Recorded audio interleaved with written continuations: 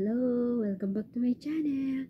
Sa mga hindi pa po nag-subscribe sa channel ko, pakapindot na lang yung subscribe button sa baba ng video at isunod na rin yung notification bell upang sa ganoon is ma-notify tayo kayo sa mga susunod na mga uh, videos ko. Huwag din kalimutan mag, uh, mag-like, i-share at mag-comment po sa baba. Ang pag-uusapan natin is Don't judge the book by its cover, but judge the book by its content alam nyo kasi, may mga tao kasi na tinitingnan nila yung panlabas na kaanyuan ng isang tao.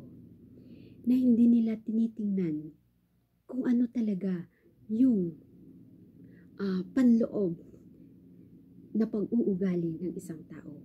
Kung ano talaga yung panloob na pagkatao ng isang tao.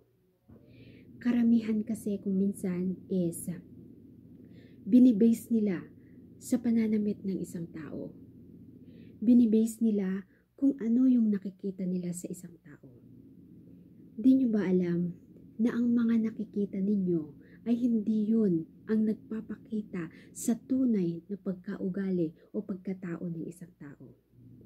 Dahil kung i-base natin sa pananamit, meron talaga yung mga tao na gustong manamit ng ganun, kagaya sa mga ibang babae meron talaga yung babae na mahilig magsuot ng mga sexing damit dahil yun doon sila komportable.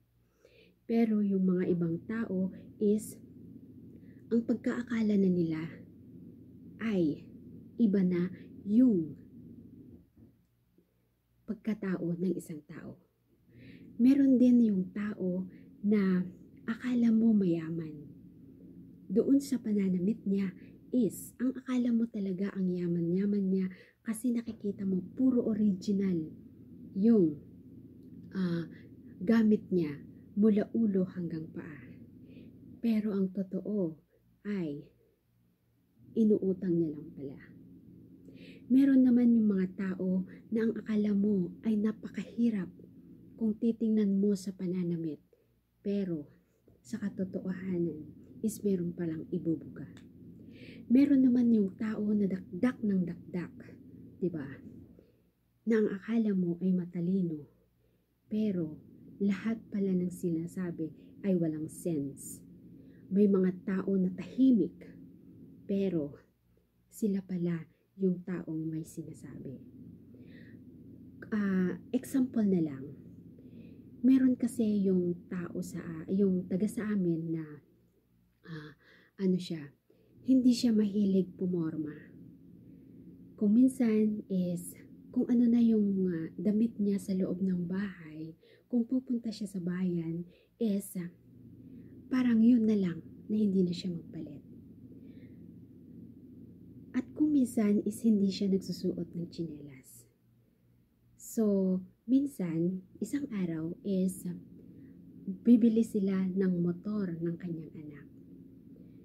So, pumunta siya sa uh, bilhan ng mga motor. Tapos, sinabi, nagtanong daw siya kung magkano yung uh, motor na gusto niya. Tapos, alam niyo ang tanong ng mga employee doon is, Sir, uh, ano bang trabaho ninyo? Kaya niyo bang hulugan yan? Medyo mas mataas yung ano, yung hulog ng, uh, ng, ng buwanan yan, ang sabi daw. Tapos, kasi nakikita kasi nila na hindi siya yung maayos na magdamit at saka wala siyang tinelas kasi yun na nga yung nakasanayan niya. And then, after that is, sabi niya, babayaran ko, i-full paid ko. Hayan, kaagad-agad daw na inasikaso. Kaya nga, lagi kong sinasabi din sa, sa iba kong mga uh, sa kapwa ko na don't judge the book by its cover. Huwag kang manghusga. Don't be judgmental kung ano man yung nakikita mo sa isang tao dahil kung minsan is taliwas sa totoong pagkatao ng isang tao. 'Di ba? Yung totoong pagkatao ng isang tao is pwedeng pwedeng uh, dayain, 'di ba? Kagaya nga yung mga sinasabi ko, maraming mga nagpapanggap na mayaman pero sa totoo lang is hindi naman pala totoong mayaman. Maraming ah, nagdadamit na parang mga babae na mababa ang lipad, na mga babae na parang ah, yung ah, yung kalad ka rin. Pero sa totoo lang is hindi naman sila ganun. 'Di ba? Maraming mga mga tao na ang akala mo ay walang alam. Pero sa totoo lang, isang salita lang. Pero tingnan mo kung gaano tagos na, na siya talaga ay isang matalinong tao. Kaya nga, meron yung libro kasi na kung tinitingnan mo yung pagkagawa ng libro at saka kung tinitingnan mo yung ah, kalabasan, yung cover ng libro ay parang ang ganda-ganda, di ba? Yung parang kaagad na ma ah, na maingganyo tayong bibili o maingganyo nating basahin dahil sa panlabas na kanyuan. Pero kung babasahin na pala natin yun, is wala pa lang, ah, wala pa lang ah, ah, sense yung ah, sinasabi ng author. Kaya nga, ito lang yung masasabi ko. Huwag tayong maghusga kung ano man yung nakikita natin sa isang tao. Dahil baka yung hinuhusgahan mo ay mas meron pang sinasabi kaysa sa'yo. Baka yung hinuhusgahan mo ay mas disiplinado pa o disiplinada pa kaysa sa'yo. Kaya bago ka maghusga sa kapwa mo, is magsalamin ka muna. Harap ka sa salamin ng maraming beses. Tanungin mo yung sarili mo kung sino ka ba at ano ka ba talaga. Bago ka manghusga sa ibang tao.